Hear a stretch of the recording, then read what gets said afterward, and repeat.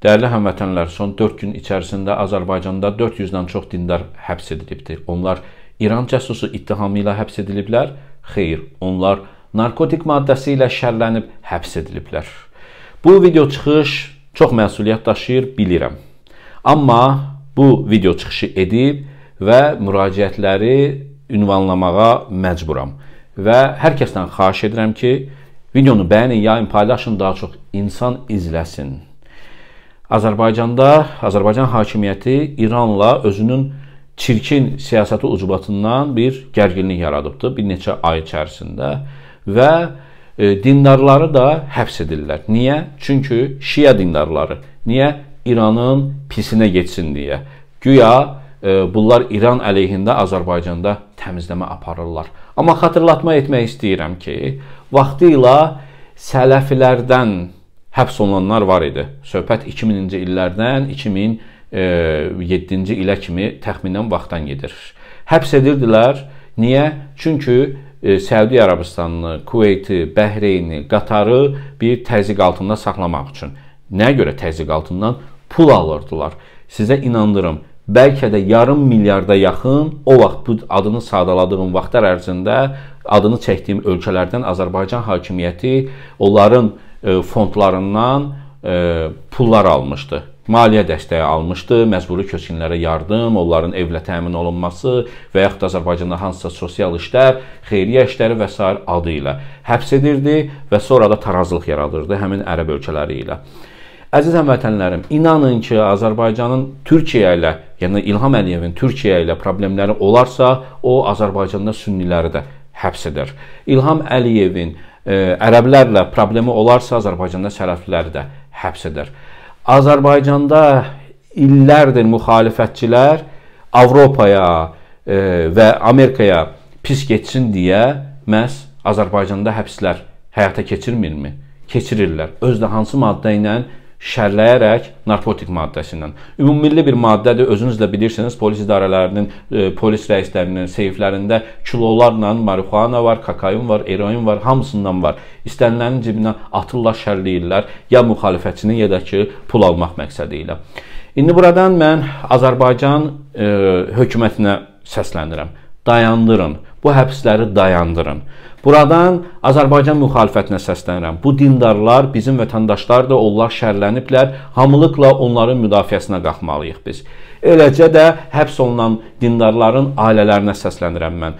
Xüsusilə utanc verici olsa da xanımlarına səslənirəm, analarına, bacılarına səslənirəm, qohum qadınlarına səslənirəm. Bir birlik yaradın. Qorxmayın. Siz mən bilirəm ki, xəbərdaram ki, bəziləriniz qorxursunuz, bəzilərinizi qorxudublar ki, həbs ediblər, amma buraxacaqlar, narahat olmayın, səssiz, səssiz qalın və s. Bir qrup yaradın, bir birlik yaradın, aksiyaya çıxın, etiraza çıxın, ailələrinizin kişilərini geri qaytarmağa çalışın. Bunlar sizin ailələrinizdir, onlar sizin ərlərinizdir, onlar sizin qardaşlarınızdır. Eləcə də buradan mən Xaricdə yaşayan dindarlara səslənirəm. Azərbaycan səfirliklərinin qarşısında aksiyalar edin. Avropada nə qədər dindar var ki, Müsəlman Birliyinin hərəkatı olub ya olmadan bu adla dini problemlərdən dolayı e, Avropaya sığınacağa gəliblər. Onlar da qrup yaratsınlar, etiraz aksiyalarına çıxsınlar. Azərbaycanda sizin dindar qardaşlarınıza zülm verirlər və buradan və buradan İran hökumətinə səslənirəm mən. Sizin probleminiz İlham Əliyevlədir. Sizin probleminiz Əliyev rejimi ilədir.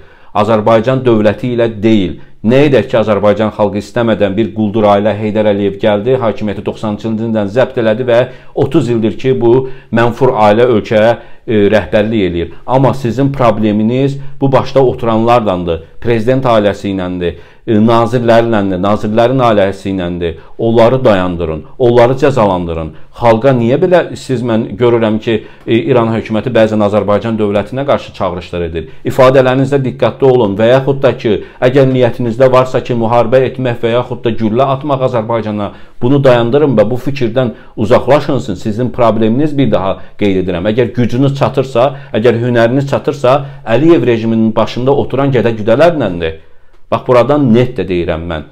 Və bu xahiş edirəm, bu video çox vacibdir, qeyd etdiyim kimi məsuliyyətli bir videodur və yayın paylaşın, başqa insanlar da izləsinlər. Bunlar bizim vətəndaşlarımızdır, şərlənib həbs olunanlardır. Niyə onlar İran cəsusu elə vətənə xəyanət ittihamı ilə həbs olunsunlar, cəsusluq ittihamı ilə həbs olunsunlar? Niyə şərlənirlər, narkotik ittihamı ilə həbs olunurlar? Mənim ailə üzvlərim də, qardaşım Azərbaycanda narkotik ittihamı ilə həbs olunmuşdu başqa müxalifətçilər narkotik ittihamı ilə həbs olunur, cəbhəçilər narkotik ittihamı ilə həbs olunur, jurnalistlər, blogerlər Azərbaycanda. Bu ümummilli İlham Əliyevin iç üzüdür. Əziz həmvətənlərim, siz də aldanmayın. İran cəsusunu ovlayırlar, DTX-ı, Daxili İşlər Nazir polisi bu fikirlərə aldanmayın, uymayın, haqq qazandırmayın bunları. İllərdir sizə yalan danışmırlarmı? İllərdir sizi əzən polis deyilmi? İllərdir sizə əzən MTN, DTX deyilmi? Tərtər cinayətlərini törədən bunlar deyilmi? Videolarımızı vaxtında izləmək istəyirsinizsə, YouTube kanalımıza abunə olun.